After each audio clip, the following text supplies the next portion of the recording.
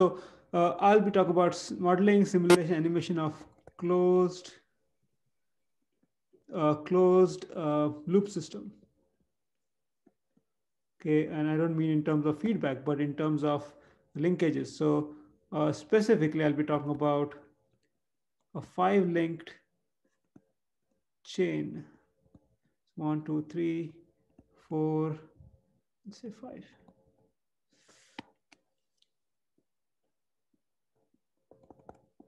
Okay, so this is one, two, three, four, five. So this is a five link chain. So you can see it's constrained on, um, let's call that point A, point B. It's constrained on those two points. And how do you actually go about uh, modeling and simulating such a system? Okay, this is where you can think of another application of Jacobian is to actually be able to do this. So how do we do that? So my plan is to first show you how to do that uh, by writing equations and then go on to MATLAB to show you how to implement it. And then finally, we'll also do this in Copilot where you don't have to really bother about equations. It'll just do it for you. But it's good to know what goes in between them. So the first thing you want to do is you want to break the closed link, uh, closed loop system at, a, at any location you, you choose to. So first is break the system. Okay, uh, you could break it. It's say here. Uh, so then it will be, if you break it there, then it will be a five link pendulum, right? Starting from here, you could break it there. If you break it at point B, then it's a five link pendulum about point A. You could also break it uh, here, in which case you'll have a two link pendulum on the left side and a three link pendulum on the right side. You could also break it here. I mean, there is just multiple ways you can break it. Um, no matter how you break it, you will you can actually do this. So what I'll do is I'll stick to the simplest way of breaking it. We'll just break it at B.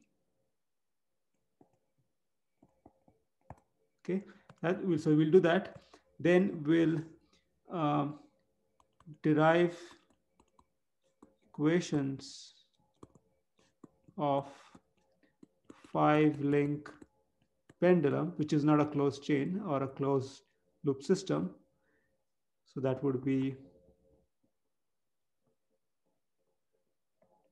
two, okay, missed one link, just redraw it. Two, three, four, and five. Okay, and then final step is enforce the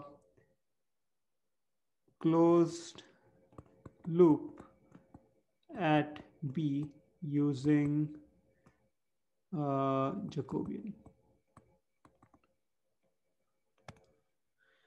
Okay, so basically we say that the point B is not free, or this is B, is not free. It's basically constrained to be uh, pinned and that will enforce uh, they'll enforce a constraint that point B does not move. Uh, so it does not move because it's pinned. And then there are reaction forces at B along the X and Y direction, which prevent it from moving. And that's how we'll get that closed loop chain. Okay. So this is step two. The first step is, is easy. The step two, you would use Euler Lagrange equations. And then step three, what we'll do is we'll actually use the, addi the additional terms, the qj in the use qj on the right hand side of let's call that el to enforce constraint constraints at b Okay, so let's just do that.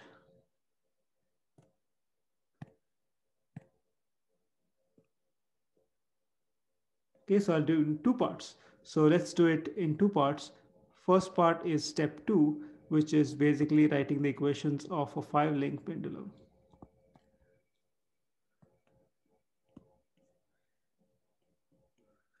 Let's put it a little bit steeper this way.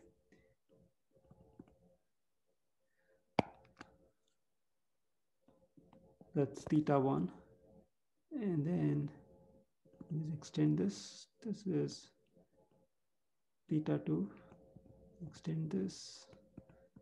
Theta 3 extend this. Theta 4 theta 5 okay and so i'm going to do a few things which will make my life easy in terms of derivation which is i'm going to assume that the mass is right in the middle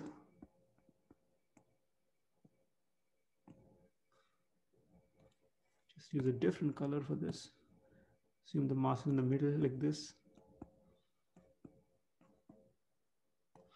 The length of the pendulums is L.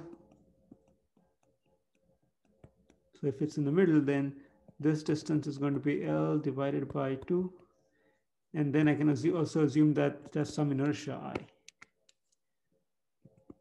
Okay, and I'm just going to assume that all the links have the same mass, same inertia, and they'll just make my equations pretty compact. Otherwise, it will just be pages and pages of equations. And I'll show you actually, this is a mess. Uh, getting these equations is going to be a big mess, and I'm not going to even copy paste. I'm just going to let MATLAB write the equations, the right-hand side for me. Okay, so that's how I uh, model the pendulum. Now let's start following steps for Euler-Lagrange equations. So Euler range. Okay, so first step is find positions and velocity. Okay, again, I'm not going to spend time, but look at double pendulum. I did a double pendulum simulation where we talked about how to get the positions, velocities, and it's just going to be the same thing, except that you need to do that for five times. And I didn't even bother writing this uh, by hand. I just went to MATLAB and I just copy pasted the double pendulum code and added a few lines to make it five links. The second step is uh, find the Lagrange, uh, Lagrangian. I am going to show you the, the code for the five link pendulum in just a bit, and then I'll post it. So the Lagrangian is L equals T minus V, which is straightforward once you have the energy and the potential. And then third step is the Euler-Lagrange equations, which is T dt dl dq dot j minus dl dqj equals qj. And for this case, for uh, well, qj is going to be theta 1, theta 2, theta 3, theta 4, theta 5. That'll be five equations. And then qj is 0 for pendulum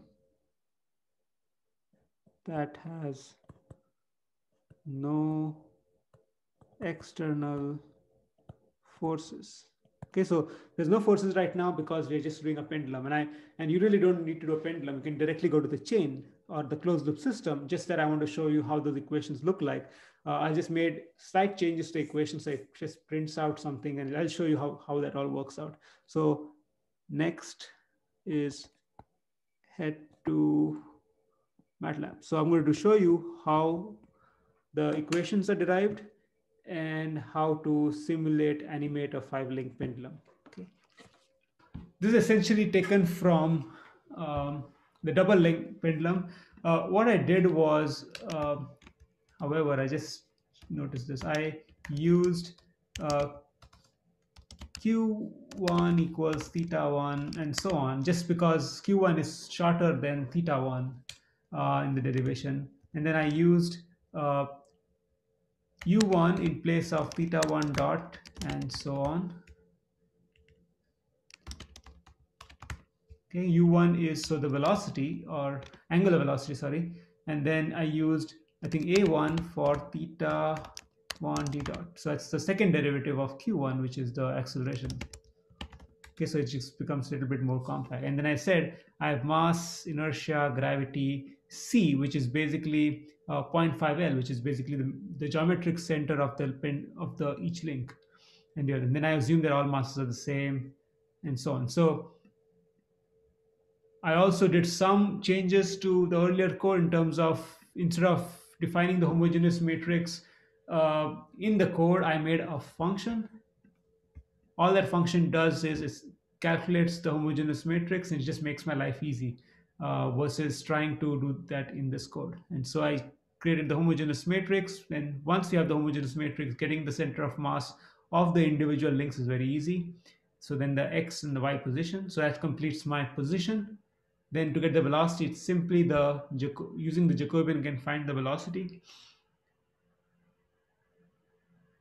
Okay, and this is basically finding the X component of the velocity and then the Y component. So it's just all very compact here. And then the angular uh, velocity, the kinetic energy, the potential energy and L, L equals T minus V. And then, then I did some more simplifications to my code, which earlier I had explicitly written down here I've used some summation just to make it easier to derive the equations, but should be fairly straightforward to understand what's going on. It's basically clubbing the those uh, Jacobian terms together such that you get um, the right thing on the right side of the equations. Okay, so the difference with, with the code which I created earlier is that instead of making this file print out the output here in the command window, which I then copy paste, I instead did this charter thing, which is I basically made MATLAB write the file, the right hand side file I care about.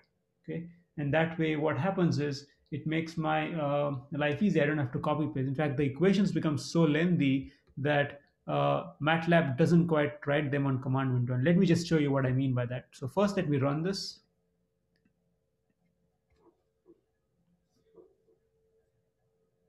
So questions was done. So it said generating RHS file.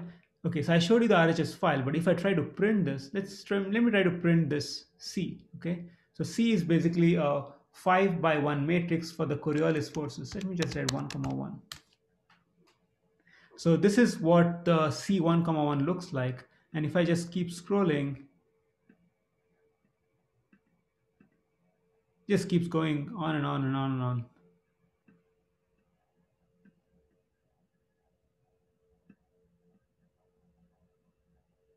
Yeah, so in this case, it actually wrote down the entire entire line of equations, but there are cases when the lines are so long that it will truncate the output, and so you will not be able to copy paste. So do CLC.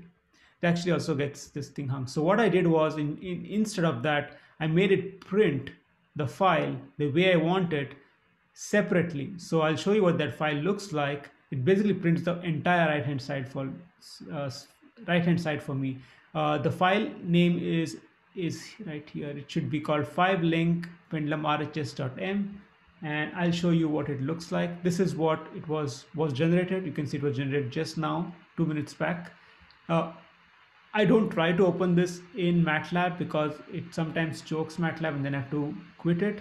Instead, I recommend is opening it with WordPad or some edited. 77 KB is long. So let me just open it with text edit, which is like WordPad, of this derivation uh, in Notepad because if I open it in MATLAB, it gets uh, MATLAB freezes because it's too much lines of code. But I just want you to appreciate how much this, how, how much computation this is, and you just can't do this by hand. So that's M11, M12, M13, and so on, and then it keeps going. And then if you see C11, which is the Coriolis force, that just runs and runs and runs. And so uh, you really don't want to be copy pasting this much code from one place to another because you might skip something. And by the way, MATLAB truncates output. It doesn't print the whole thing unless you just output it in a separate window. Uh, okay, so 77 KB. Okay, so I'm fine with that. Okay, so that's the first step. The second step is to actually run the animation. So the main file.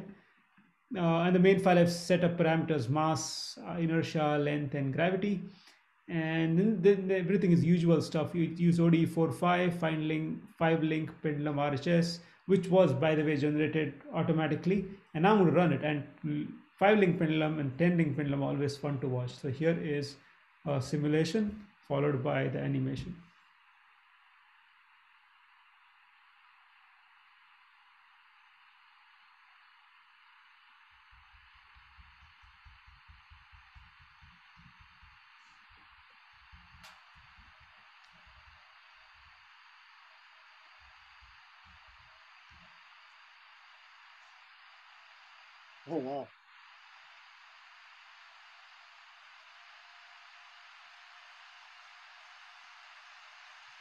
Okay, so that's a five link pendulum, and then the, all the positions velocities are crazy.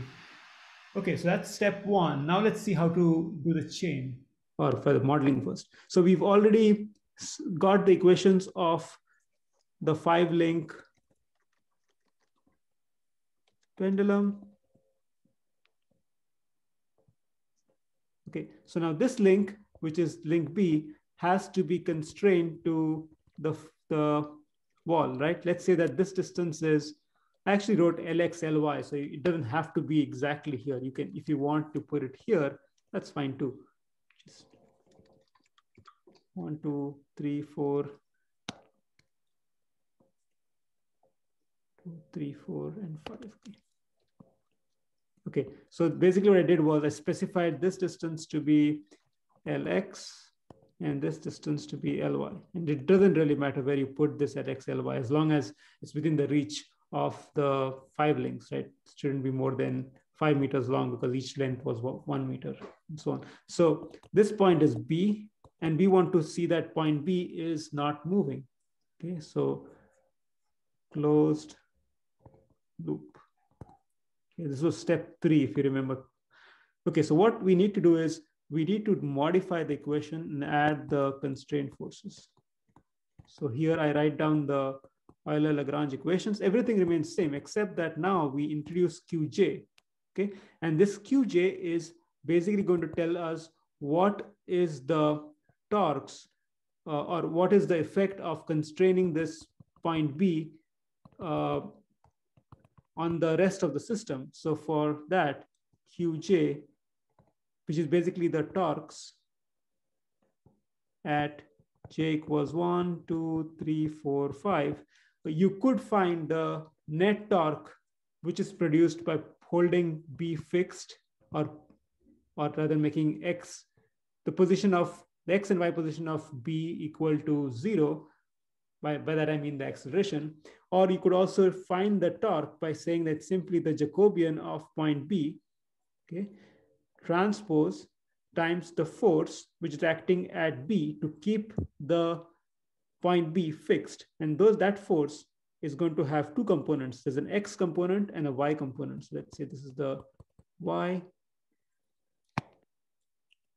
And that basically is an unknown. You don't know that force is, but the, the equations will actually give you that force. There's a Px, Py, and they're unknowns. This is Px, Py, okay? And then the Jacobian is basically, you need to find the position of B. So B has two coordinates, xb, yb, okay? So once you have xb, yb, and you can get xb, yb by using the kinematics, what you need to do is you need to take dxb with respect to d theta 1, dx uh, b respect to d theta 2 and so on till dx theta 5 and then dy theta 1 dy theta 2 so on till dy theta 5 and so this is uh, this is Jacobian of b by the way. This is 2 cross 5 there are two rows and five columns because there are five degrees of freedom. When you do JB transpose times P, we are talking about a five by two matrix because you invert, you, you take the transpose of JB and then B is two comma one. So the net result is this whole thing is going to be five cross one, okay? So there are five rows, one column, and that's precisely what we want here. If you look at this, this is five cross one. It basically is telling you what are the torques at the joints one through five such that point B is going to be fixed. Okay, so when you do this math for this equation, we write that one, we write on the next page, you'll end up with something which looks like this. So the equations of a manipulator always, always look something like this. Uh, C theta, theta dot, theta dot, that's the Coriolis force, G theta for the gravitational force, equals the external torque, so it's the motor torque, okay, which by the way is going to be zero. We assume that there are no motors here, but if you had motors, you would put torque one, torque two, and so on, plus JB transpose B, okay? So what we have here is five by one unknowns, and then we have two by one unknowns. So there are, these are unknown, the accelerations are unknown, the forces are unknown. So we have seven unknowns but then these, these are five equations.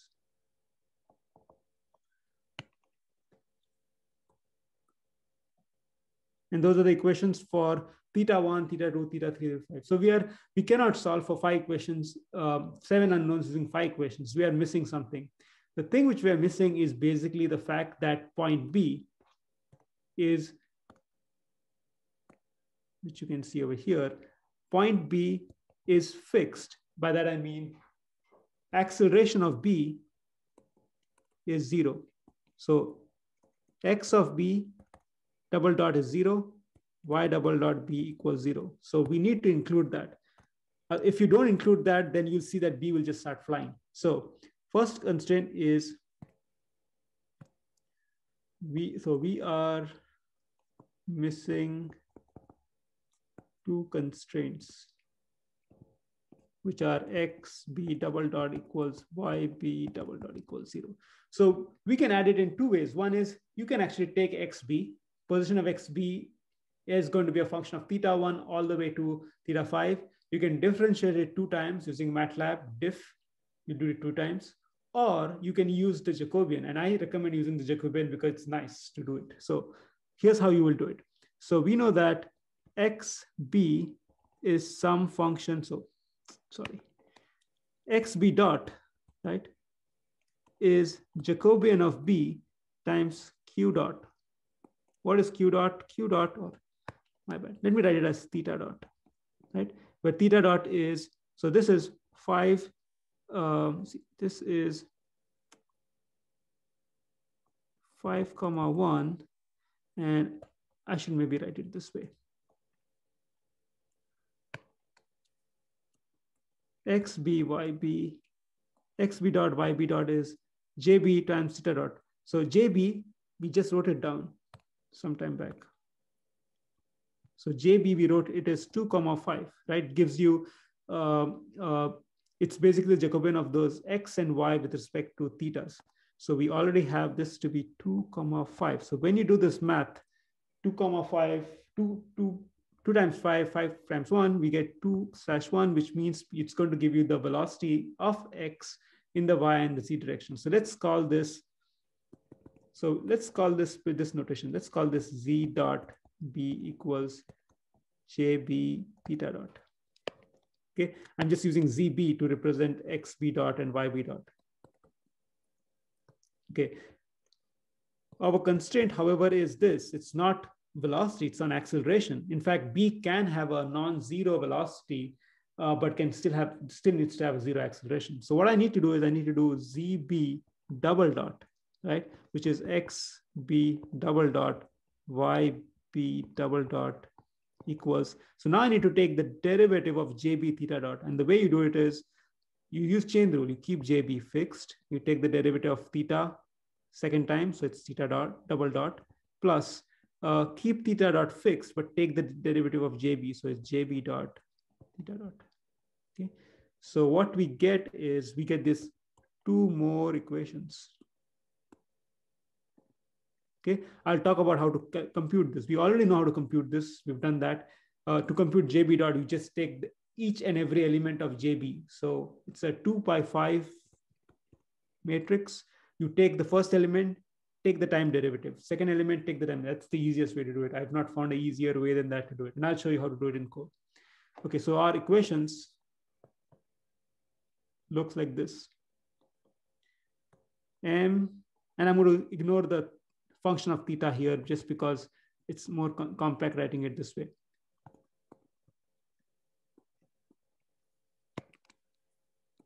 So I'm going to move this JB transpose P on the left side. So I'll be getting JB transpose times P equals zero. And then this one gives me zb double dot, but zb double dot is basically zero. So I can write jb theta double dot plus jb jb dot theta dot equals zero. Okay, those are my two equations. I need to do a little bit more simplification. First of all, let's see what are the unknowns and what are the knowns in these equations. So theta double dot is an unknown. P is an unknown. Everything else is known. Now, when I say it's known, it's known at that time step because we're going to use that in, in the in ODE45. So what I'll do is I'm going to write all the unknowns here, theta double dot and P, and then move everything which is left on the right-hand side. So what I need to do is this is known and this is known. So I move it to the right-hand side with a minus sign. Uh, this is again going to be known. So I move it to the right-hand side, jb dot theta dot. And then whatever remains has to be put in a matrix. So first is the mass matrix. So m times theta double dot, that gives me this. Then I need to do something times p. So it's going to be minus jp transpose, which will then multi get multiplied with p. And then I have jb theta double dot. So jb has to come here. That gets multiplied with this. And then I'll have a zero here because there's no p appearing here. And I think I did a mistake here. I just need to make this negative because this moves to the right hand side. So this is my equation for a chain. So let me summarize this fine. So pendulum, the equations are m theta double dot equals minus c theta dot minus g. For chain or a closed loop system, the equations are m minus jb, jb theta double dot p equals minus c theta dot minus g minus j dot j dot jb dot theta dot. So you can see that the equations are slightly different from the pendulum. You only have this constraint forces at B, which shows up. Negative Jacobian should be the transpose, right? Right. Okay. Good catch. Okay, so this is the difference. So when I do this, I basically will get this right-hand side, I'll invert it. So To solve for this, I will invert this matrix. I'll do that numerically because doing it uh, symbolically is going to be a big mess. First, only the equations are super long, and then doing it symbolically is going to be a big mess. So I'll do this. It'll, it'll give me the five by one theta accelerations. It'll give me two by one uh, uh, forces. Sometimes I care about the forces, I want them, but sometimes I just don't care. I only need the first five accelerations to simulate. So I'm going to show you next MATLAB code, which will um, derive the equations. Okay, let's get to that. And then I need to come back here to show you something about simulations. It's not just putting in initial conditions and getting it going. So let me start my five link chain file. Okay. It's essentially almost identical to the earlier file I shared on the pendulum. The only difference here being that everything is here the same. The only difference being that uh, I call that link point P. Okay, so this P, P is B in the notes. Okay, I, I didn't use quite B, I use P, but that P basically gives the position of the end of the link, which is at the end, eh, it's at distance L from the previous link uh, I find the position of P. Again, as I said, P is B in my notes. Uh, find the position, find the velocity, and then, uh, and I'll tell you why I do that later on uh, when I talk about sim uh, simulations. This all is the same, except that uh, I also find the Jacobian of P, and then I get the J dot, which is, as I said, was basically taking the, the, you can either take each term of the Jacobian and do diff, or you can use the Jacobian of the Jacobian to find that using the same chain rule I talked about earlier, right? So this Jacobian of J each element that is i comma j with respect to q dot and you get the time rate change of the Jacobian j dot. So this gives j dot. And then I do the same thing, I generate the files. The difference being that I now need j, I need j dot. And I also need, well, and this is actually basically setting up the equations for me the way I wanted it. And so if I run this,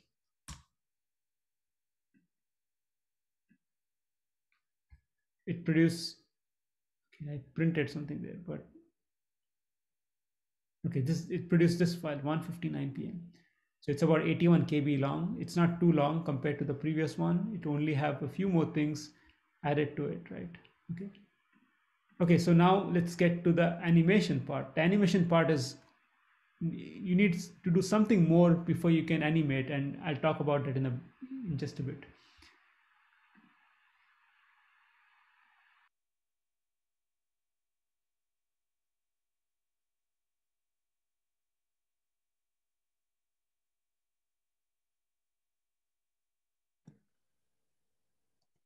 Okay, so let's get to simulations. Okay, so there's one difference between doing simulations for pendulum and doing simulations for a chain.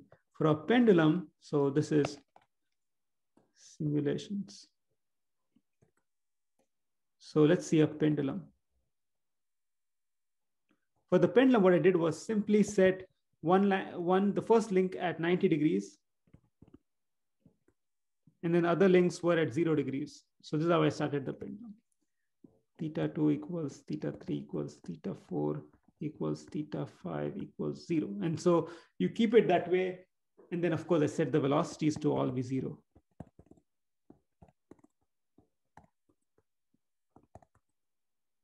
And then you just let it go it all falls down and things look beautiful. Now, there is a difference between doing this uh, with um, chains.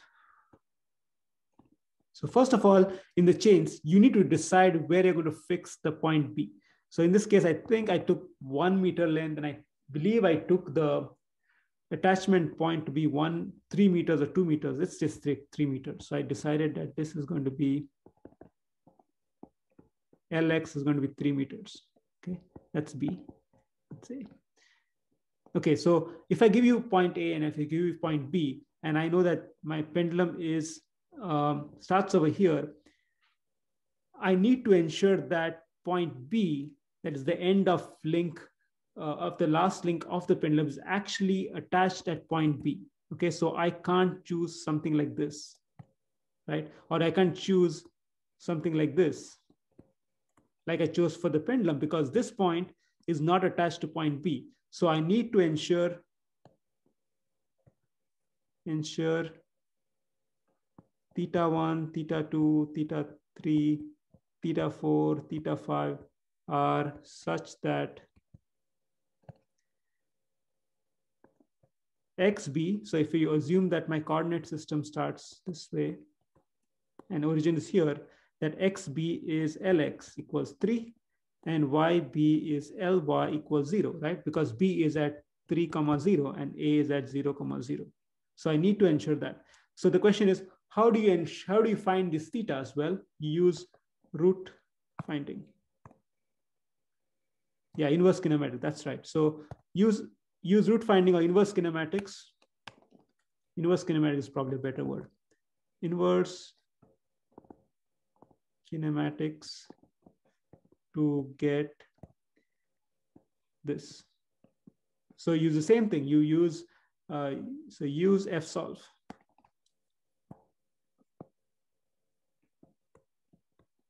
So basically you have two equations. One is xb equals three, one yb equals zero. And then you have five, two outputs, which are given here. And there are five inputs the inputs being theta 1 all the way to theta 5. So you have five ways to choose, and you can actually set three and you can make it choose two, or you can make it set all five, or you can make it set three and whatever you want. So it really doesn't matter as long as uh, you find something consistent. So that's the first thing.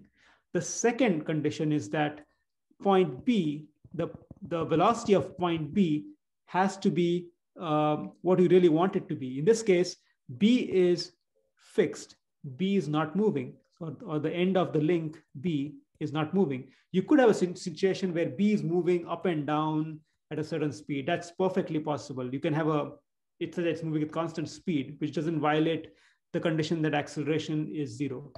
But in this case, I assume that B is fixed or velocity of B is zero. So xb dot is zero and so is yb dot.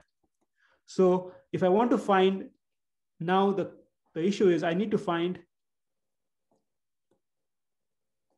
theta 1 dot, theta 2 dot, theta 3 dot, theta 4 dot, and theta 5 dot such that this is true. Okay, now note that here in step one, you already found these inputs. The angles are known, the configuration is known. We have not figured out the velocities. Okay, so we do the same thing, which is we use f solve, f solve, which has two outputs. Here the outputs being the velocities and five inputs, which they being theta one dot, theta two dot, so on to theta five dot. And once you have that right, you know that you start this pendulum in the right way. That is, point B has fixed zero speed and let it go and everything will look very consistent. So I need to ensure that. So I need to do F solve two times, one to find position and one to find angle. Once first to find angles, and then given the angles, I can find the position. So I'm going to show you that. So this is my five link uh, main file. Okay. And what I did was first, as I said, I chose Lx to be 3, Ly to be 0. So it's hung 3, comma 0. Uh, I solve for, I use fsolve and I solve for position. So I have a function called position last link, which basically returns the xb and yb. Okay, and then it solves for these five numbers. And then the thing is, you have to use this algorithm, Levenberg Marquardt, because that one allows you to change five variables. If you use the default algorithm, it says there's an error, or it actually reverts this one because it only can solve a square system. By a square system, I mean it will solve for two equations, two unknowns. Here we have two equations and there are five unknowns. So I use this algorithm. So that basically computes q's. And once I get the q's, then I solve for u's or the velocities using F-solve again. But now I have the velocity of the last link tip. So if you look at the position last link tip, it's this. It was generated by uh, MATLAB here, XP, YP. That's what I copy pasted here. And then F gives me the difference between XP and LX, YP and LY. And velocity of last link is similarly uh, VXP, VYP, which both should be zero. Okay, so that's what I do first. And then I do the normal five link chain RHS thing. So let me run this.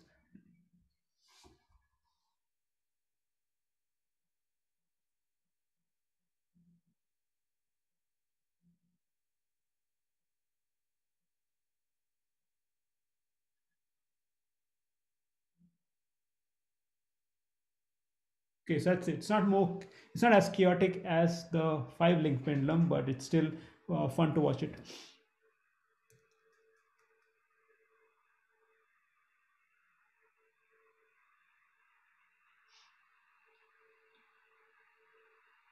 Okay, it stopped and this is how the positions and velocities change.